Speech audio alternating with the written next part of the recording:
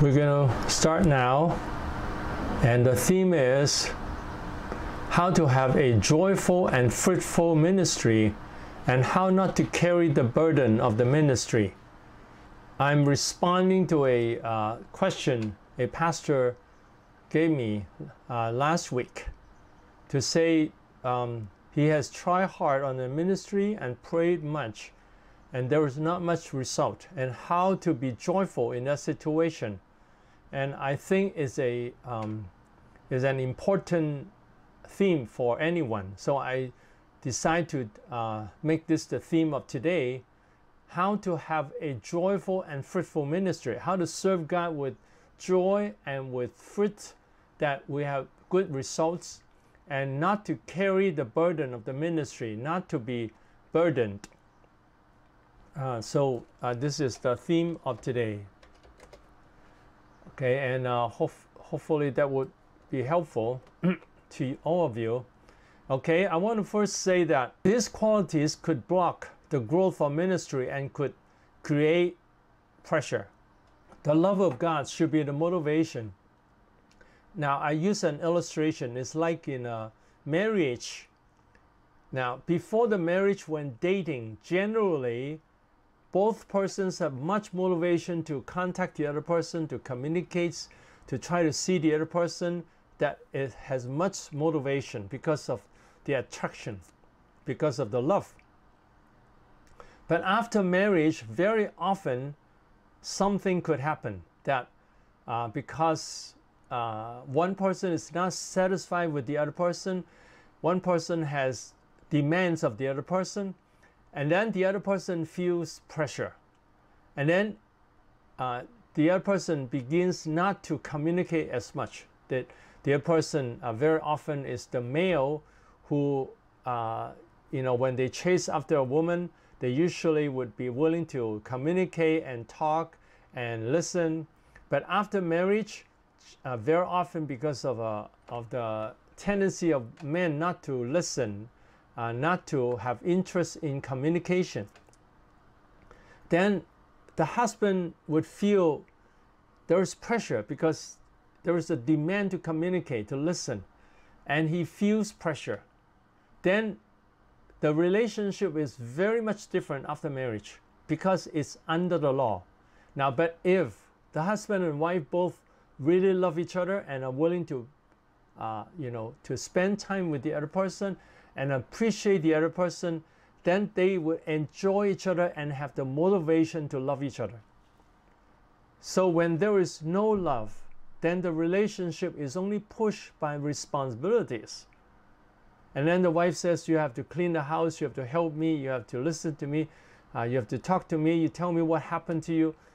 All this become pressure. But if there is strong attraction, there's strong love. They love each other, they care for each other, and then they, they want to please the other person, they want to make the marriage better. Then they are willing to love each other and care for each other. And then the relationship will grow stronger and stronger. And so this is a very, uh, a very important point in relationship that, uh, that is motivated by love, by and in a relationship with God is motivated by the love of God and the grace of God. Then the Christian would say, Oh, God loves me so much, He cares about me, He blesses me so much, I want to respond to Him, I want to love Him. And whenever I love Him, He is very happy with me and He'll bless me. That will give people the motivation. But if the motivation is always saying, now you're saved, you have to obey God, you have to listen to God, you have to pray, you have to repent, then it becomes all law oriented. So uh, I have other teachings that explain the difference between the law oriented life and ministry and grace oriented. Now, grace oriented doesn't mean the person doesn't obey. When he's motivated by the grace of God and understand that to obey God will bring blessings, then he'll have more, more motivation to obey God and, and uh, respond to Him and to serve Him. Okay, and so uh, when people just emphasize on what people should do rather than on God's grace and good and His good nature, they don't have a, and also many Christians don't have the assurance that whether God will help them or not. Many people in ministry they say, God is not listening to my hearing my prayer. He's not responding to my prayer because they want God to respond in his way. And they have no guarantee. For instance, they want more money and then the money don't come in and then they think that God is not responding to them. But God has a better plan, you know. He doesn't necessarily give us the money right away.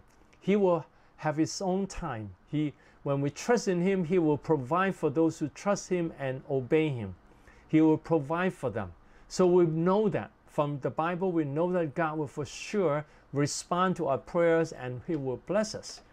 Then the person have assurance that God is here listening to his prayer and responding to his prayer. And then when people are law oriented, when they face difficulties, they worry. They say, Oh, God is not helping me. And they have problem believing that God is gracious. They always just look at what they want and then they say, God is not gracious to me. So they just tell people to keep on praying or crying to God, hoping that God will help them. So it's like under pressure. We need to pray, we need to repent, we need to do our best so that God will bless us. Actually, we can just say, God is willing to bless us. God is happy to bless us. When we trust in Him, He is very happy to bless us. Okay, and then we should obey, but the motivation should be God's love and grace. So, law oriented ministry is one quality that blocks the growth of ministry and could create pressure. And then, two, lack of love and shepherding toward the members does not care about the members and does not shepherd them to build up the relationship with God. So it's just preaching the message and then and then that's it.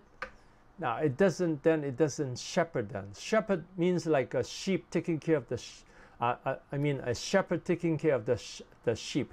Take care of the individual needs, care about them, help them, respond to the needs, respond to the problems, uh, uh respond to the weakness and try to help them to grow in the Lord Jesus Christ. So if there is lack of love and shepherding, then uh, the ministry will not grow. And then three, under pressure to produce results in ministry. Always think about the results and pushes people to bring more people to church. Pressure will produce opposite results. Now, in some ministry, sometimes it's the personality of the leader that they just want the church to grow fast and then they are under pressure. When they are under pressure, they keep telling people, you have to bring people in, you have to grow, you have to, to do evangelism, you have to obey God. Then it's always pressure. Then people will lose the motivation because the Bible teaches us that we should rejoice in the Lord. And then the joy of the Lord is our strength. It's not just obeying. When we have the joy of the Lord, the love of God, and then we will have the motivation to, to obey God and serve God. So this is very important that the pastors himself enjoy the presence of God. God is so real. Anytime we pray to him, he'll come to bless us. Anytime we love him, Lord Jesus, I love you. I thank you, Lord. Hallelujah. You are blessing us all the time. When we love God all the time, then we have strength and then we'll have the motivation to serve God. Then we'll tell people God loves you, God wants to bless you, and the, uh, you are precious in His sight, and He has a wonderful plan in your life when you trust in Him and obey Him and serve Him. He'll bless your whole life. So, do you want to be blessed by God? Do you want to have a close relationship with Him? When we trust in Him and love Him and obey Him, then the relationship will come, become stronger and stronger. It's not hard to have a good relationship with God because God is happy with anything we do according to His will. When we repent, when we love Him, when we obey Him, God is very happy to respond to us. So we should not use pressure to push people to change. If we use pressure, we tell people you have to repent, you have to obey, then it becomes pressure to people and it becomes law oriented and the people will say it's so heavy it's so much work now i serve the I, I serve god from morning to night. I spend all my time in praying, in serving God. Now I spend time in doing other necessary things, eating and spending time with my wife, and also time of exercise to keep myself strong. But when I serve God, I don't feel pressure. I enjoy serving God because God is full of love. So I when I think of God, I like him and I like serving him and I like to bless people. I like to help people to enjoy God. So I serve God with much motivation. So I hope that we all will be motivated by God's love and not under pressure to serve God. And then D, controlling or pushing toward the members. So it's now the number three is under pressure to produce results like uh, under pressure to bring in more money to the ministry, then uh, pushing the people to, to give more offering. Um, now, when we motivate people to give offering, it should not be pressure. We tell them that God knows how you give and your heart to give. When you give, God is very happy with you. and He'll bless you. So then we, we teach people to, to trust in God and give offering. Now, when the ministry is very, very weak or at the beginning stage, it's not wrong for a pastor to seek another job to support himself. Even Paul, he was a tent maker, so he could, you know, make money with tent making, and then he support himself. Also, of course, some Christians support him, but he did not, he probably did not have the support all the time. So he was also a tent maker. So it should not, the minister should not be under pressure. If there is financial problem, then the pastor could look for a job to support himself. And then uh, for controlling or pushing toward the members. Now in 1 Peter 5 2, shepherd the flock of God which is among you, serving as overseers, not by compulsion but willingly not for dishonest gain, but eagerly, nor as being lords over those entrusted to you, but being examples to the flock.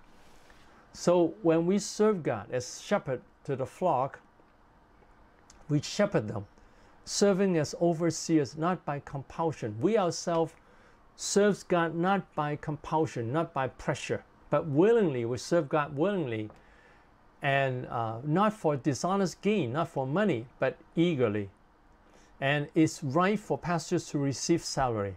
But if the church doesn't have money yet, then he could find other ways to find support for himself.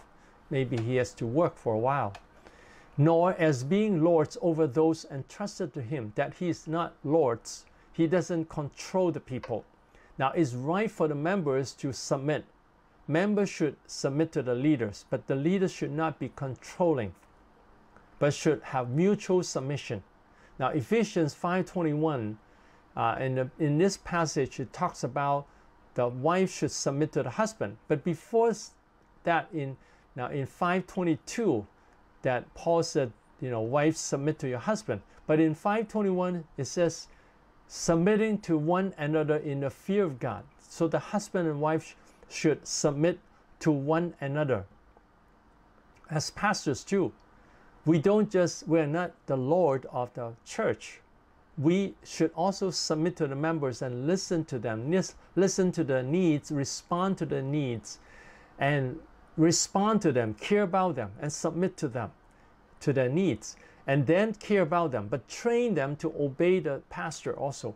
But not absolutely. What I mean is, when the pastor is wrong, the people should not be submitting to him. When the pastor is not following God's way, the people should examine the teaching of the pastor. The Bible doesn't teach absolute uh, surrender, submission to the pastor. The submission should be reasonable when a pastor is following God. And it should be reasonable in a sense. The pastor should not be forcing the people to, you know, uh, like to spend all the time in the church to push the members to give all the money to the church, uh, things like that. Now, this is the practice of many cults. that they would force the people to give all the money and give all the time and even to live in the church to give the whole life to the church. Now, this is not in the Bible. It says that do not do not lord over them because when that happens, then the people will rebel, and then uh, the church could break up, and then there could be more problem in the church. Okay, now here I want to explain the difference between God's law and God's grace so that we understand we're motivated by God's grace to obey God's law, and then, then the church will have stronger motivation. The law of God tells us what to do. God's grace tells us what God has done to bless us, what God has done already. He, Jesus died for us. Jesus uh, uh, died for us to give us eternal life. And the Holy Spirit moves in our heart to guide us to obey Him. And He treasures what we do, what we do for Him, and He remembers and He rewards us. So all these are God's grace. And then God's law tells us God's judgment and punishment.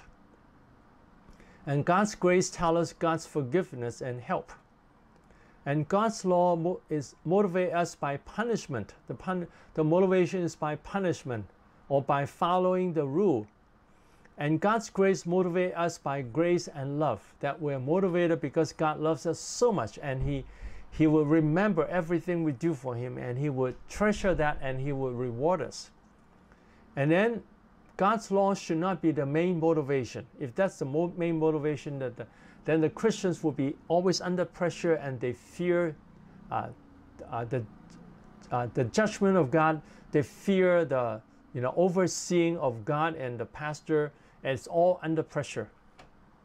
And uh, it should be you know God's grace should be the main motivation. That we are motivated to love God by God's grace. Some people say if people are just motivated by God's grace, then they don't want to obey God. Then we'll ask them, Do you want God to bless you? And we also, I, I want to say that we do have the motivation from, from God's law, but it's not the main motivation. There should be a motivation telling them that when they disobey God, there's always destruction. When we follow the flesh, there's always destruction. So uh, uh, we should not sin. We should not fall into sin because sins will give the devil a foothold. But that should not be our main, main motivation. The main motivation should be God is full of grace and mercy. God is loving us. God is blessing us. So I want to obey God and love God and serve God. That should be the main motivation. But there should be a reminder that when we disobey God, there is a punishment. There could be punishment or destruction. So we don't want to sin. But the main motivation is God is full of grace and mercy, and He loves us all the time, and He treasures everything we do. He appreciates everything we do, so I'm happy to, to serve Him. Now, when a person is motivated by the law, then he's filled with guilt.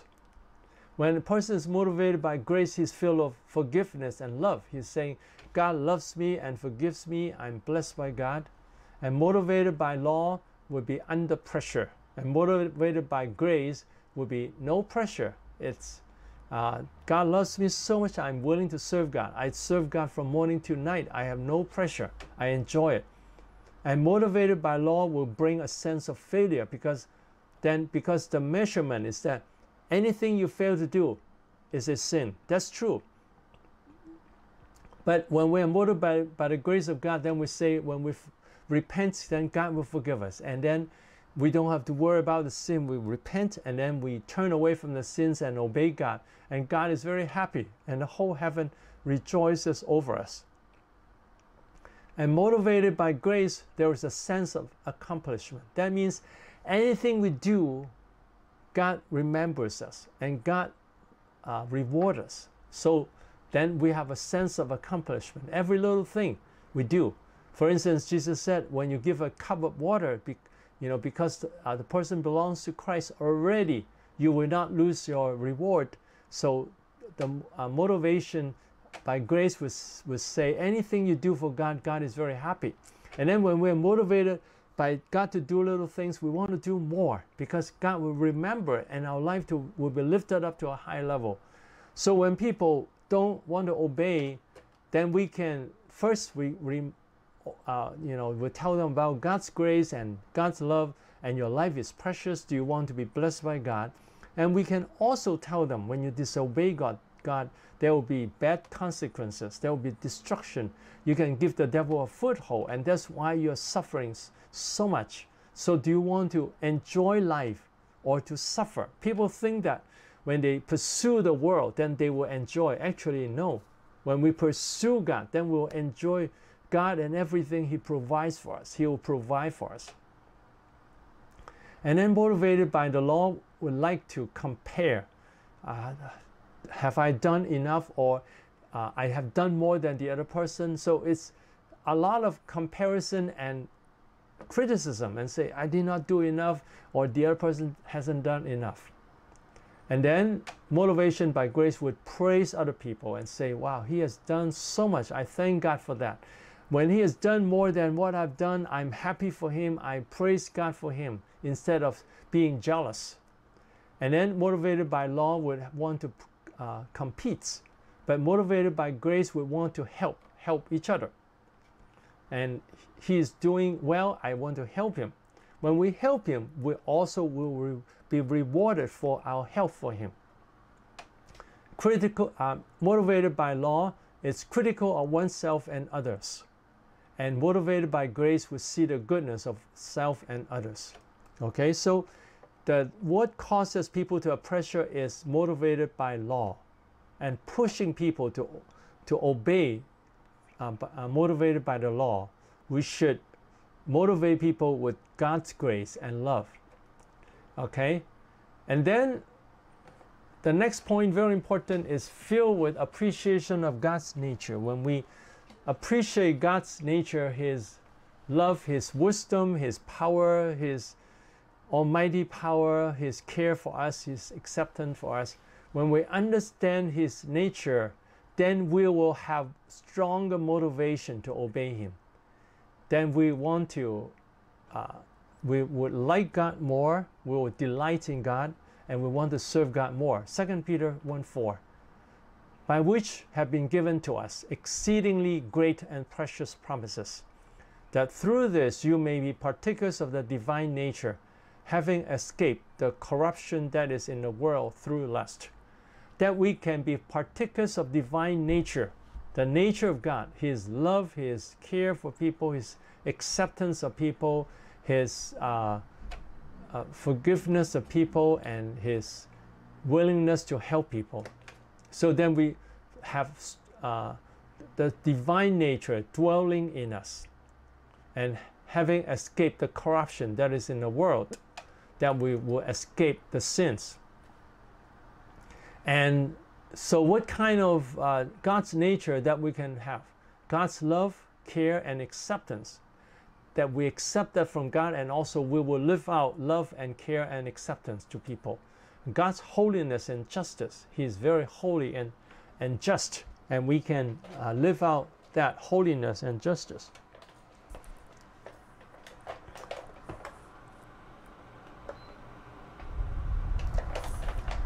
And then God appreciates and lifts up people. God appreciates people and lifts up people. He will raise people up to a higher level. And God's wisdom, power, and plan, God has uh, wisdom to do everything. He has the power to do everything, and He has a wonderful plan. And God works in all things, things for our good. Everything God does is for our good. So God is very gracious. We want to enjoy God's nature and live out God's nature. That would be like God to care about people, love people, accept people, and live a holy life, and appreciate people and raise up people's life, and have the wisdom of God and the power of God through faith and also follow God's plan. And, and then also we believe that God works in all things, that God in all things for our good. Okay, now, just now we talk about serving God under the pressure of the law. And now I want to talk about serving God with God's perspective. From God's perspective, looking at things from God's perspective, serving God from God's perspective. Uh, so this is more biblical to follow God's way uh, to follow the biblical way. First, the Bible has promised us that God has a wonderful plan in His people. Psalm 139, 16 to 17. All the days planned for us have been written in your book. All the uh, days fashioned for us has been written in God's book and His church. Because God, if God plans, has planned for His Christians, then the Christians together will be the church, and God also has a plan for the group of Christians, the church. If God has a plan for each individual Christians, He would also have the plan for the whole whole church. And also Matthew 16, 18 says, On this rock I will build my church, and the gates of Hades shall not prevail against it. So that Jesus will build his church, that the darkness, the hate, the gates of, the, of hell shall not prevail against the church. The church will have victory. And Matthew 13, 31 to 32, the kingdom of heaven is like a mustard seed, which a man took and sowed in his field, which indeed is the least of all the seeds. But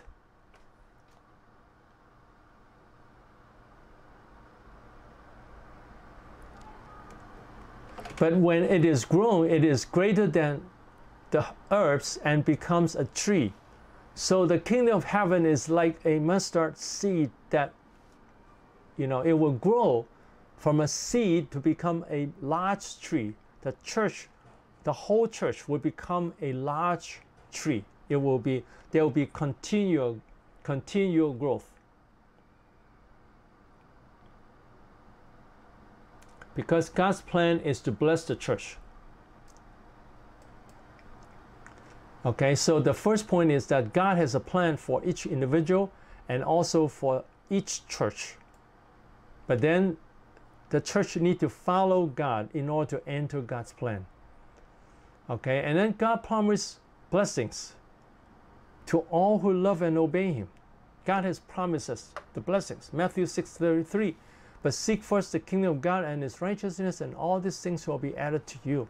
So when individuals and also the church will seek first the kingdom of God and his righteousness, all these things, when we seek his kingdom means we want more people to enter the kingdom of heaven. We want more people to believe in Jesus. And also, uh, we want God to take over our life. When He takes over our heart, then our heart is the dwelling place of God's kingdom. When we ask God to take over a church, then the church become the, the kingdom of God. The kingdom of God will come into the church. So it has two meaning. Seek the kingdom of God means to seek God's uh, to seek salvation of more people, and secondly, to let God be the king of our heart and of the church and of our family. And then His righteousness seek his righteousness means to obey him, to follow his righteousness. All these things shall be, shall be added to us. So when we follow God, he will take care of us. 1 Corinthians 2 9, eye has not seen nor ear heard, nor have entered into the heart of man the things which God has prepared for those who love him. So, and Christians who love God do experience God helping them. So, so we all can experience this so will the church. The church will also experience help. That first we believe that God has a wonderful plan in the church. When we obey God, when we offer, when the, the whole church offer the body as a living sacrifice and do not be conformed to the world, but be transformed by the renewing of the mind, then we will enter, start to discern the wonderful, good, and perfect will of God. And then when we follow the perfect will of God, God will bless us and provide for us. God does not necessarily respond to our prayers in our life, in our way, but God always has the best way. Sometimes God lets us go through difficult times so that we learn to rely on Him totally, and this is all for our benefits.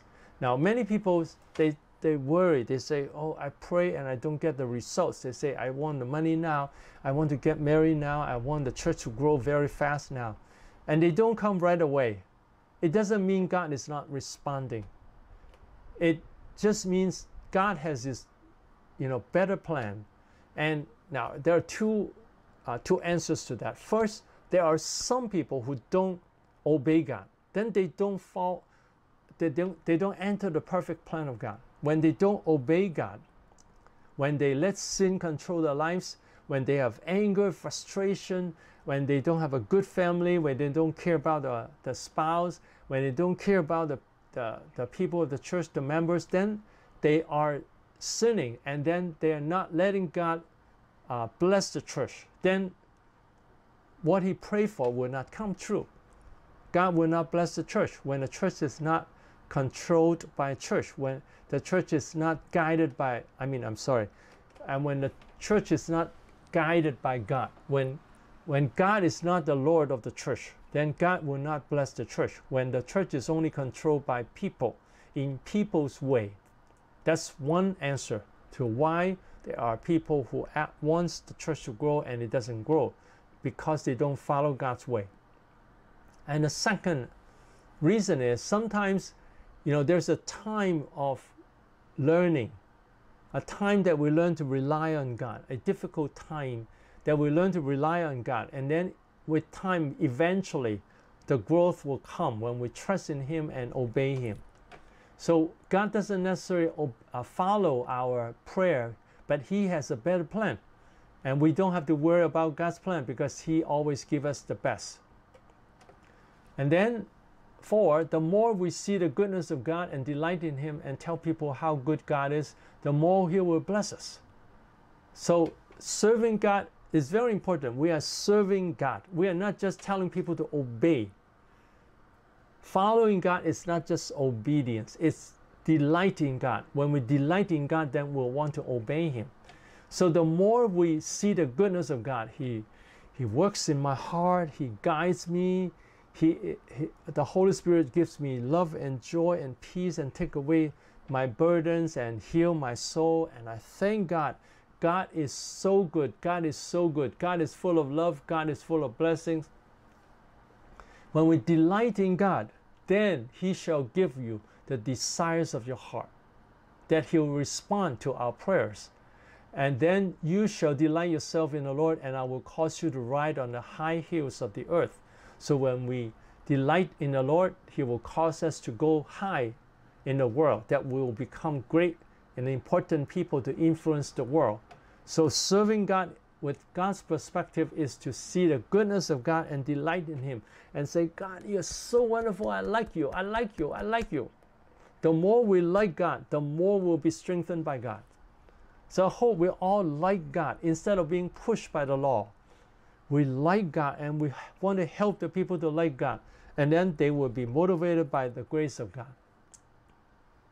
When we believe in God's goodness, we'll also have less burdens and we'll be able to rejoice in God's goodness. We'll see, wow, God is working in these people, God is changing these people's heart, and God is changing my heart, God is working my heart. So we rejoice. We say, we count the blessings of God. God is so good, God is so good, God is doing wonderful wonderful things, then we can rejoice and we have less burdens. Then our lives will show the peace and love of God more, and we'll be able to have better relationship with people and can bring more peace and joy to people, and our ministries will become stronger. So when we enjoy God more, we have less burdens. When we enjoy God and His love, we have our life will show the love of God, will show the joy of the Lord, and then people will be attracted to us. And then they want to follow god. They want to they, they say i want your god. So our ministry will become stronger. Our ministries will become stronger not by the law but by the grace of god by the love of god by the work of the holy spirit to change people. Okay? And god wants to accomplish his will to bless more people. So if we always look at things from god's perspective and appreciate His wonderful work and want to follow His perfect will, God will be pleased with us and bless our lives and ministries. So, God has a wonderful plan. He wants to accomplish His will to bless more people. In, uh, in the history of mankind, you know, it's a timeline. In, his, in this timeline, God wants to bless more people, to save more people, to strengthen their spiritual life to show the glory of God so people will follow God. That is what God wants to do. God wants to show His glory through His people. It's very important that we understand this. Our lives is to show the glory of God, to show the joy of the Lord, the love of God, the freedom of God. And it's not just the law. The Bible is not just obedience. Part of it is obedience. The Bible is about God's nature, God Himself, His nature, and His works, His grace. So the more, you know, God wants to accomplish His will to bless more people. So when we, when we look at things from God's perspective and appreciate His wonderful work, God is wonderful. He saves us, He works in our heart, He changed our life. And then we want to follow His perfect will, we want to obey Him. We want to bring more people to enjoy God. Then God will be pleased with us and bless our lives and ministry. So when we follow ministry, we, we do ministry God's way, then God will be happy with us and He'll bless our life. Even when we might have difficult times, our whole lives will be fruitful. Even when we are difficult, when there is persecution, still there will be, uh, will, our lives will be fruitful. God will make sure that we have enough resources and wisdom to accomplish His perfect will when we love God and delight in God and glorify God and follow God's way, God really treasure us. And then He will make sure that we have enough resource and wisdom to accomplish His will. So I thank God that God has this heart to bless the churches I'm blessing right now. I'm very happy to do that. And in order to do that, God blesses me with the provision. But first, God molded my life through years, for years, he molded my life. He changed my life to be to appreciate God. He gave me this teaching to appreciate God, that I like God, I enjoy God, and I can experience His presence any moment when I appreciate Him, when I like Him. Hallelujah, praise the Lord. And I want to take care of my problems in my life. First, I enjoy my relationship with God. And then I take care of my sins, my relations, uh, relational problem, how not to be affected by people, and take care of negative thinking and emotions, any kind of problem in my life, I want to take care.